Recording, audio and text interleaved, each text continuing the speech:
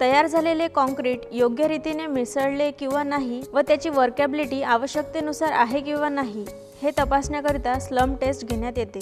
यासाठी लागणारे साहित्य आहे slump cone trowel tamping rod scale तर आता आपण प्रत्यक्ष कृती करूया. स्लम कोन समतल पृष्ठभागावर ठेवा.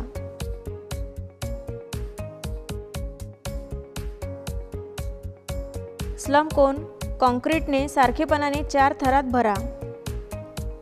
प्रत्येक थराला टॅम्पिंग रॉडच्या सहाय्याने पंचवीस ठोके द्या.